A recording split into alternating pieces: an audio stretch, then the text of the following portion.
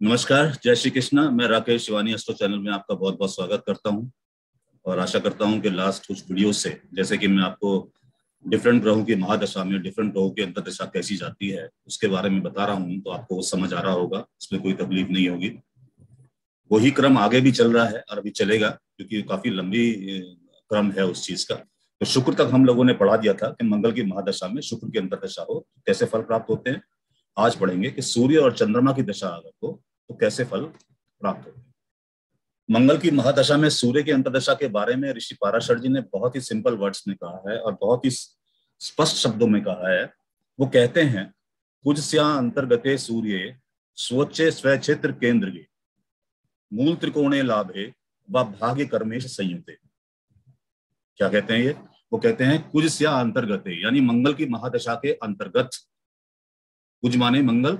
मंगल की महादशा के अंतर्गत सूर्य सूर्य की अंतरदशा हो और सूर्य स्वच्छ उच्च राशि में हो, स्व क्षेत्र केंद्र के केंद्र में हो, स्व क्षेत्र में हो, मूल त्रिकोणे या मूल त्रिकोण राशि में हो, लाभ भाव में हो या भाग्य कर्मेश संयुक्त, भाग्य भाव के स्वामी के साथ और कर्म भाव के स्वामी के साथ संयुक्त हो तो तदभुक्तो वाहनम कीर्ति पुत्र लाभस्य विंदती। ऐसे में वाहन की प्राप्ति होती है, वाहनों की प्राप्ति होती है संतान का लाभ होता है, कीर्ति फैलती है आपकी। धन्य दान समृद्धि साते ग्रह कल्याण संपद। धन्य दान की समृद्धि होती है, घर खरीदते हैं आप। आपके घर में कल्याण होता है। क्षेमारोग्यम धैर्यम राजपूज्यम महत सुखम। अगर कोई रोग है या कोई प्रॉब्लम है तो वो भी सब खत्म होती है। धैर्य आपका बढ़ता है। आपको राज सम्मान मिलता है। आपको जहाँ भी सर्विस करते हैं, आप गवर्नमेंट में या किसी प्राइवेट सेक्टर में, वहाँ से आपको बहुत ज़्यादा सम्मान मिलता है ऑनर मिलता है। चाहे वो प्रमोशन के रूप में मिले, चाहे किसी रूप में मिले।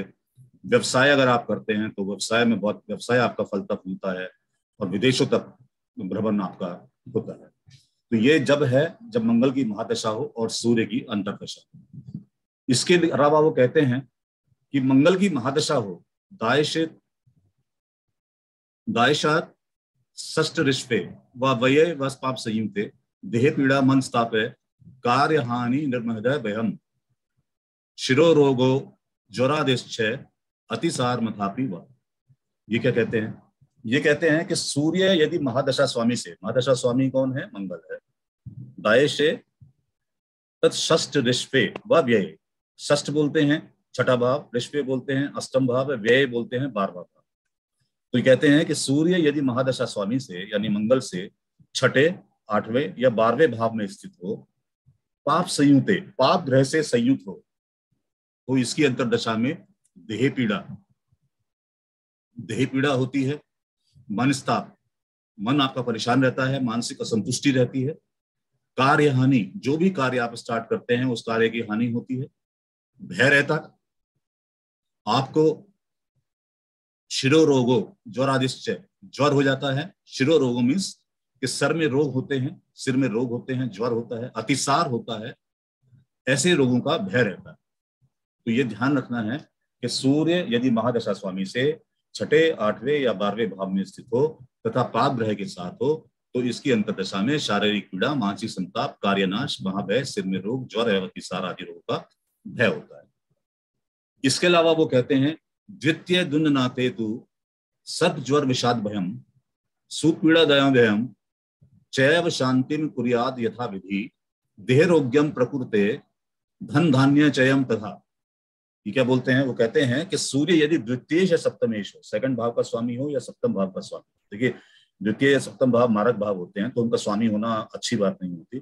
सूर्य यदि द्वितीय या सप्तमेश हो तो क्या होता है? तो उनकी दशा में सर्प ज्वर, सर्प का खतरा रहता है साफे काटे खतरा रहता है, ज्वर हो सकता है, विष का भय हो सकता है, सुख पीड़ा भयम, पुत्र को पीड़ा होती है, यानी संतान को पीड़ा होती है, शांति कुरियाद यथा विधि और इसकी शांति के लिए क्या करना पड़ेगा आपको? देहरोग्यम प्रकुरते धन धान्यम चयम तथा। तो ऐसी शांति के लिए आपको सूर्य की आराधना करने पर ही आरोग्य एवं धन धान्य की प्राप्ति होगी। तो जब भी आपकी कुंडली में सूर्य द्वितीय या सप्तमेश हो और तो उस केस में आपको सूर्य की आराधना ज़रूर करनी चाहिए। एटलीस्ट उस समय जब उसकी अंतरदशा या प्रत्यंतर दशा आ रही हो तो सूर्य देव की आराधना अवश्य करें। इसके बाद आता है चंद्र की अंतरदशा, यानी मंगल की महादशा में चंद्र की अंतरदशा का फल। वो कहते हैं कुछ अंतर्गते चंद्रे सोचे स्व क्षेत्र केंद्र के भाग्य वाहन कर्मेशे लग्नाधिप समन्विते करोति विपुलम गंधमाल्याम्बर विभूषणम कड़ाग भूपुरादिनाम पुण्य धर्मादि संग्रह, विवाहोत्सव कर्माणि, दार पुत्रादि सौख्य प्रत्यय पितृमात्र सुखावाप्तिम ग्रहे लक्ष्मी कटाक्ष करते महाराज प्रसादेन श्रेष्ठ सिद्धि सुखादिकम पूर्णे चंद्रे फलम पूर्णम क्षिणे स्वल्प फलम ददेत ये क्या बोलते हैं? ये कहते हैं कुछ से अंतर्गते, यानी मंगल की दशा में चंद्र की अंतरदशा हो। मंगल की दशा में चंद्र की अंतरदशा हो और चंद्र स्वच्छ हो, स्वच्छ राशि में, उच्च राशि में हो स्व क्षेत्र स्व क्षेत्र में हो, केंद्र में हो। और भाग्य, वाहन, कर्मेश, लग्नादि पे समन्वित है। भाग्य भाव के स्वामी के साथ हो या वाहन जो आपका भाग्य भाव है, उसके स्वामी के साथ हो, चौथे भाव के स्वामी के साथ हो, कर्मेश, कर्म भाव के स्वामी के साथ हो, या लग्न के साथ हो तो क्या होगा? यानी चंद्रमा आपकी अंतरदशा हो और चंद्रमा उच्च राशि में हो, स्व क्षेत्र में हो, केंद्र में हो, और भाग्य भाव के स्वामी के साथ हो, वाहन भाव के स्वामी के साथ हो, कर्मेश के साथ हो, या लगन के साथ हो तो क्या होगा? तो कहते हैं, ऐसे में सुगंध माला वस्त्रादि आदि लाभ प्राप्त होते हैं। मतलब आपको बहुत अच्छा धन धान्य प्राप्त होता है। जातक गौशाला आदि का निर्माण करता है, प्राचीन काल में था, गौशाला आदि का निर्माण करता है। आप अभी कोई भी कोई बिज़नेस का अपना बहुत इंक्रीज कर सकते हैं बिज़नेस को बहुत बढ़ा सकते हैं। घर में आपके समारोह होते हैं, घर में विवाह आदि शुभ समारोह का आयोजन होता है। आपको माता पिता से सुख मिलता है, इसमें लिखा हुआ है, देखिए, इसके अंदर कि पितृ मात्रा सुख वाप्ति ग्रहे लक्ष्मी कटाक्ष करता है। यानी माता पिता का सुख मिलता है। घर के अंदर लक्ष्मी का पदार्पण होता है, घर में लक्ष्मी आती है। महाराज प्रसादेन श्रेष्ठ सिद्धि सुखाधिकम महाराज प्रसादेन मीन्स कि राजा से आपको कृपा मिलती है।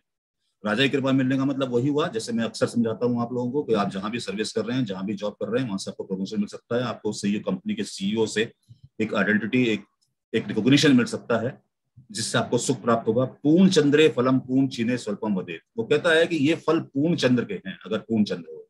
लेकिन फल थोड़े कम हो जाते हैं, अगर ये क्षीण चंद्रमा हो तो थोड़े फल कम हो जाते हैं। इसके बाद वो कहते हैं कि नीचा रिस्थे अष्ट में षष्ठे दायशाद रिपुन रक्टे मरणम दार पुत्राणाम कष्टम भूमि विनाशनम पशु धान्यक्ष यश्चैव चौरादि रण भीति कृत द्वितीय दुन्नाते फिर वही उन्होंने ये बात बोली है इसके अंदर। वो कहते हैं कि चंद्र यदि नीच राशि में हो नीचा रिस्थे अष्टम, या अष्टम में हो, षष्ठ में हो या बारहवें भाव में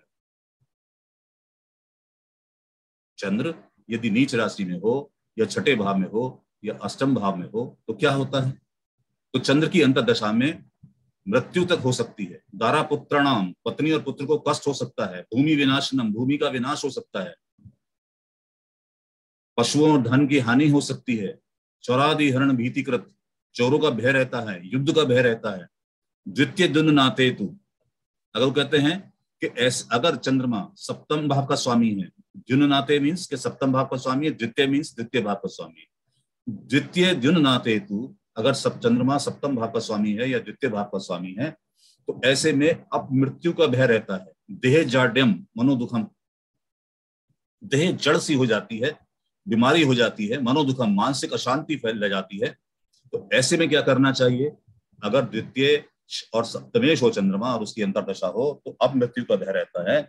और ऐसे में उन्होंने लिखा है, स्वामी ऋषि पाराशर जी ने, उसका पूरा निवारण भी दिया है, कि माँ दुर्गा लक्ष्मी का जप करें, श्वेत गाय, भैंस का दान करने से, श्वेतांगा महिषी, यानी गाय या भैंस का दान करने से आरोग्य और शांति प्राप्त होती है।